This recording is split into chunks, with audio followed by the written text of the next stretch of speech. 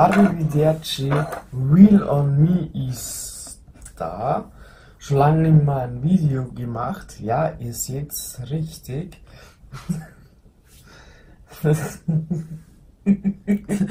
Querformat irritiert mich immer wegen der Kamera. Ähm, Real on Me und Peaceful Little Button. genau. Ja, sie ist nicht in Deutschland, sie ist gereist nach Österreich, um mich zu sehen.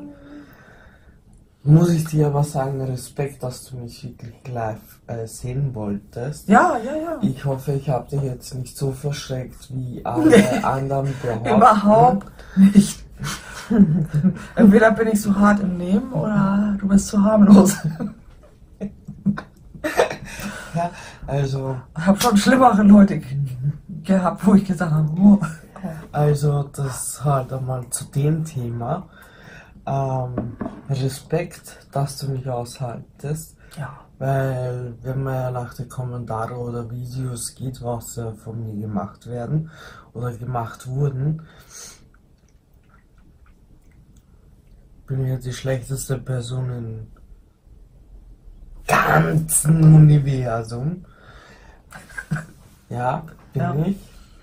Ja, mein Hirn braucht länger, weil wir machen die Videos eigentlich zu Schlafenszeit. Ja, Aber wir brauchen ja ein, zwei Videos für euch. so ein bisschen als Andenken, ne? Erstens das und auch als Beweis, weil Fotos kann man ja auch stellen. Keine Fotos, keine Fotos. Bitte. Ne, was wir gemacht haben. Ja. Ähm, ich habe da äh, Kerstin ein paar Sachen gezeigt in Wien. Nicht alles. Es war einfach die falsche Der falsche Zeitpunkt. falscheste Zeitpunkt für die Reise. Ich meine, ich habe mich urgefreut und freue mich immer noch, aber Du hast dich bemüht. Ja. Hut ab. gehen und versuchen und ihr etwas halt über den Prater zu erzählen, geht nicht. Am besten hätte ich meine Rollator gekauft, wo ich sitzen kann und sie hätte mich geschoben, ja. Glaube ich, war das Beste gewesen. Ich habe mich bemüht. Wir sind heute auch ins Bauhaus gefahren. Ich habe gesagt, mach ein Bild. Haben wir selber. Mach ein Bild. Mach ein Foto jetzt. Du machst ein Foto. genau. Ah, lustige Geschichten haben wir auch für euch. Das erste Geschichtel war, wie entwerte ich eine Wertkarte, äh, Fahrschein. Die Nachstellung ist ja jetzt, nee. das kann man gar nicht nachstellen, nur die liebe Tamara, äh, beziehungsweise ich, bin ja ich, ja, okay. Ich habe schon lange keine Videos mit Reden. Ja. Man kommt so aus der Übung.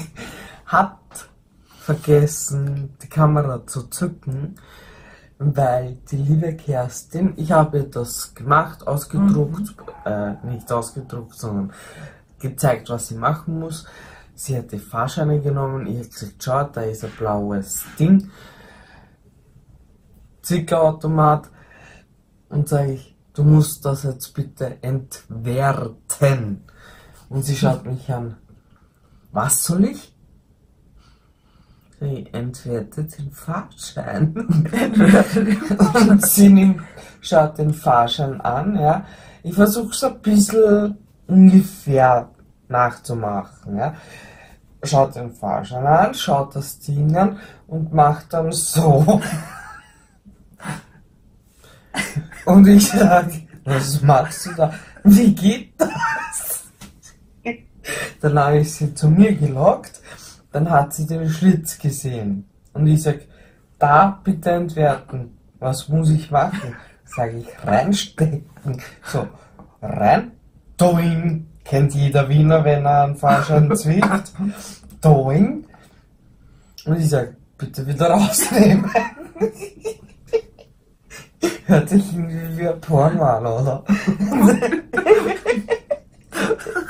Steck rein jetzt. Steck.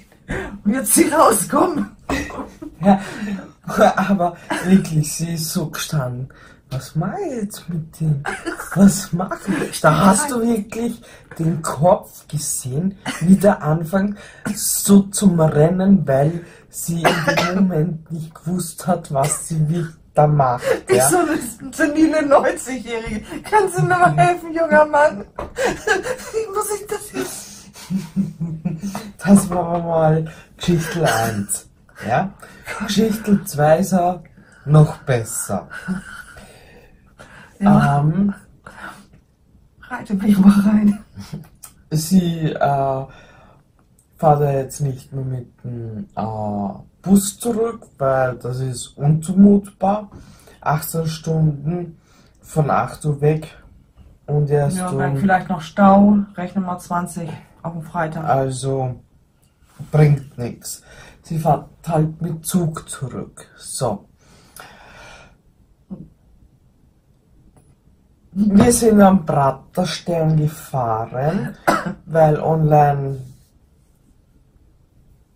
wollte man das nicht. Wir haben zwar geschaut, aber sind sicherheitshalber Praterstern gefahren. Sind dann sind dann in die U-Bahn gestiegen. Eine jüngere, also in unserem Alter, ist da gestanden. Äh, ich bin da gestanden und bei der Stange ist die Kerstin gestanden. An, ja, Ja, du da, die Frau da und die. So, und da bei der nächsten Station ist eine ältere Dame mit Rollator gekommen. Den hätte ich hier wegnehmen sollen. Dann hätte ich die Fahrt äh, zu der einen hin und tut sie eigentlich wegschubsen. An Das- wegrammeln da so. Ja, so wegrammeln. Ja, dass sie dorthin kommt und die Dame neben der Kerstin, die hat sich dann zu Kerstin gestellt, hat gesagt, so in der Art reden ist ja auch schon unmodern. Wohl nicht mehr in, ja. Oder nicht mehr in. So. Und ich schaue die Kerstin an, die Kerstin schaut mich an. So, und das, dann kommt sie halt so zu mir und ich komme halt so zu ihr und dann fragt sie mich, reden die Tschechisch oder Spanisch? Das war mal schon der erste Lachflash, ja. Aha, sage ich, das ist Wernerisch. Und sie, aha, okay. Und war, und dann Da hat die ältere Dame hier noch rumgemuckert. Wieso muss ich was sagen? Man sieht mir doch an, dass ich alt bin oder sowas. Ja, so, so, so selbstverständlich so. Ja, ich komme noch da Dann schaut's doch nicht ins Handy. Und sie äh, die andere Dame hat dann halt gesagt, so auf die Art, wenn sie sagen, liebe Frau, komm doch hin, dann hätte ich ihnen einen Platz gemacht, aber ihr wisst, wie Wiener sind. Die Wiener sind einfach grantig. Das war dann das nächste Thema. Ja, das Als war Michi das zu mir sagte, ja, das sind wir Wiener, unhöflich. Na, da Ja. ist er die Alte aber erstmal getickert, doch. Ja, weil dann ist er früh losgegangen. Was heißt das denn jetzt? Ja. Sind Sie, äh, finden Sie, dass ich unhöflich war? Und ich schaue sie an. Denk mal, was will die jetzt von mir? Und ich sag, äh, ob sie unhöflich sind oder nicht, interessiert mich nicht. Ich erkläre gerade meiner deutschen Freundin, dass sie eine Wienerin sind. Ja, Wiener sind unhöflich. die versteht nur Bahnhof, hast du gesagt. Ja. Sie wollte wissen, um was es geht und sie versteht das nicht, weil ihr Tschechisch redet. Ja. Und dann habe ich leider Gottes dann noch darauf gesagt, äh, wie sie gemeint hat, na finden Sie das unhöflich, sage ich, mir ist es eigentlich ziemlich egal, weil Wiener sind unhöflich, ich bin auch Wiener und bin auch nicht höflich. Kommt drauf an, wie man zu mir ist. Aber ja, das war Punkt 2. Äh, dann sind wir noch in der U-Bahn, habe ich ja halt ein bisschen vom Praterstern erzählt und da habe ich halt auch gesagt, dass da halt so ein paar Leute verrückt sind. Äh, gefährliches Pflaster. Hm? Gefähr äh, heißes Pflaster, habe ich gesagt. Und äh, kann schon mal sein, dass da auch Messer im Spiel sind. Und da habe ich schon gesehen, aha, so der Blick, können wir wieder fahren? Na, und dann sind wir zur ÖBB gegangen, haben das Ticket geholt. Äh, Für den Zug morgen. Ja, dann sind wir, äh, habe ich beschlossen, spontan, dass wir durch den Prater gehen, weil wenn man durch den Prater geht, kommt man ja zu mir. Ja, das war schmerzhaft.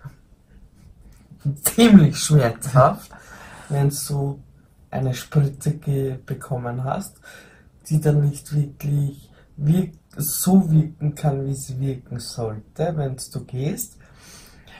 Aber ich habe halb geschafft. Dann hast du ein paar Bilder gemacht, dann haben wir Figuren gesehen, äh, dann so ein komisches Drehding, das hast du auf Instagram gepostet, oder? Meinst du dieses Karussell? Ja, Aha. war. Wo Das habe ich einem Bekannten geschickt. Das habe ich, Also- glaube ich, noch nicht gepostet. Nee. ja, wird sie wahrscheinlich oder auch nicht, aber ist ja wurscht. Guck ich mal. Ähm, und ja, es war lustig, lustig. Ja. Die Straßen gefallen ihr nicht, wegen den Humpel, Wumpel, Den Humpel. Bumper, Bumpers sage ich immer dazu, diese Bump. Ja, aber die Straßen, wenn sie Ich habe achtmal versucht, diese Straßenbahn aufzunehmen und habe dann immer irgendwelche Himmelskörper oder so. Und, oder das Cockpit hier vom Auto gehabt. Ja, aber so, Millennium Tower, äh, City, hast du dir ein bisschen angeschaut. Donauufer war ich ja. Habe ich auch ein bisschen geguckt. Nicht jetzt spazieren gegangen, aber das. Aber angeschaut. Mit so einem Rücken ist das ja auch doof. Ja, ich Ich habe habe mir vorgenommen, auf jeden Fall nochmal wiederzukommen. Und ich habe gesagt, Millennium City kennt eh fast jeder, der was in Wien wohnt. Dort, wo der Felber ist, kann man ja rausgehen rauchen. Habe ich gesagt, dort gehst du jetzt bitte hinaus eine rauchen, gehst ein Stück vor, dann siehst du die Donau. Die ist ein Stück weiter vor. Dann siehst du die Donau und rüber in den 22. glaube ich. Mhm. Ja, ja, ja, so in Donaustadt oder so. Ähm, ja. Ähm, Brötchen hast du gegessen. Wir haben das Semmeln, bitte, ja. Semmeln. Semmeln? Ja, das war auch noch so ein Ding mit den Semmeln und den Leberkärs. Ja. Brötchen. Sie guckt mich an. Das sind Brötchen, ich habe keine Brötchen zu Hause. Ich sag, du wolltest auch Leberkäse mit Brötchen essen. Ja. äh, wir waren beim Spar, wie wir heimgekommen sind, wie ich sie abgeholt habe, habe ich gesagt, wir müssen zum Spar. Wenn du auf etwas Angusta hast, solltest du es mitnehmen, weil ich habe kein Cola, ich habe keinen kalten Kaffee, weil ich das Zeug ja eigentlich nicht mehr trinke. Warum eigentlich? Ich trinke es nicht mehr. Wenn man nicht mehr will, will man nicht mehr. Ja, ähm, hat sie gleich einmal einen Einkaufshaul gemacht, weil das macht ja jeder auf YouTube. Ich bin aber nicht auf 23 Minuten gekommen. Ich muss da noch irgendwas zwischenquetschen. So heimlich. Irgendwelche Wiederholungsszenen, dass ich auf 23 Minuten komme. Ah.